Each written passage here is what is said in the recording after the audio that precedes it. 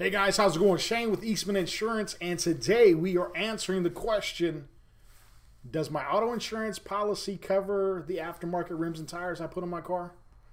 What about the custom stereo system that I put in? What about custom paint?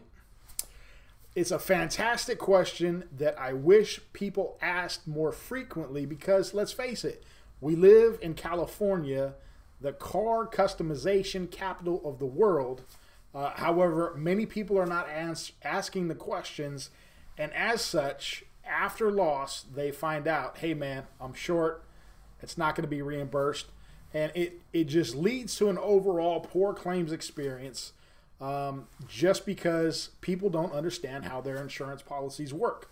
Part of the reason that we're running this video series is just so we can fill you guys in, clue you in on what makes your insurance policies tick. Uh, so whether or not you put the equipment on, you may have bought your car customized or you may do it yourself. Um, your unendorsed insurance policy is not structured to cover those items. Um, some preferred insurance policies will have minimal, and by minimal, I mean $2,000 or less, coverage for, hey, my stereo went out and I went and put a Kenwood in or I curb shot my rims and I just picked up a cheap pair of rims and tires from Les Schwab.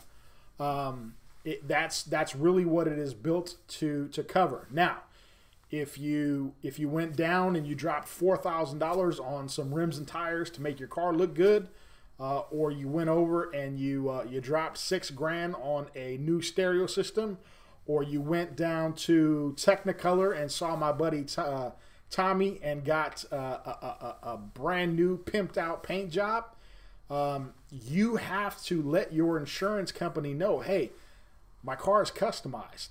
What do I need to do to get this covered? So if something happens, if my if my custom paint job gets keyed and the paint is so intrinsic that they have to paint the whole car to match, what do I need to do to get that covered?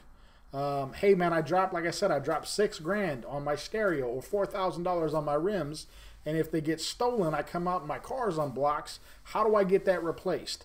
And so, doing so, you're calling your insurance agent. You're saying, "Hey, I've got these customizations. I've done this aftermarket.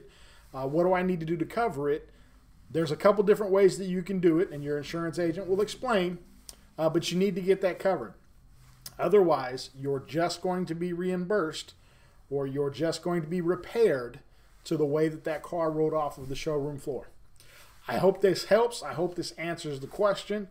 Uh, and and the overall purpose of doing these videos is that we want to lessen the blow. We want to we want to educate you. We want to let you know how your insurance contract works so that when it is fulfilled, you have a positive experience. Hope this helps. If not, if you have other questions, you're not really sure about how something works, listen, don't hesitate. Pick up the phone, shoot us an email, give us a call, stop by the office, and uh, and ask your questions. That's what we're here for, client or not. We're here to be of value, answer your questions, and teach you about how insurance works. That's it from here, and we're going to see you on the next one.